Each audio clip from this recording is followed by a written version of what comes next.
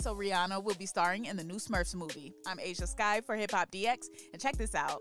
Rihanna has been cast in a brand new film role, and this time she will be taking on the role of Smurfette in Paramount's new Smurfs movie. The announcement was made on Thursday, April 27th, where Rihanna made a surprise in person appearance at CinemaCon at Caesars Palace Hotel in Las Vegas, Nevada. When speaking to Variety, Rihanna said, I tried to get the Papa Smurf role, but it didn't work out. Now, in addition to voicing the lone female Smurf in the village, Rihanna will also be recording new songs for the soundtrack and producing the reboot of the franchise. Now, the franchise has previously enjoyed a spate of success with hybrid live action and animated films. Previously, Katy Perry played the Smurfette role in 2011, and Demi Lovato played the role in 2017. The Smurfs movie starring Rihanna as Smurfette is set to hit theaters in 2025.